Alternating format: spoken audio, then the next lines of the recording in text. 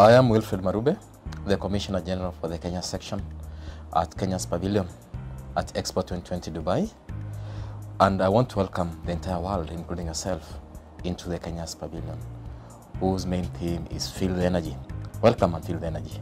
Expo 2020 to Dubai, I would say, is the greatest show this particular time, given that for the last two years, we've been living within the COVID pandemic and world trade, global borders, global businesses, global travel has actually slowed down to some extent and been shut down.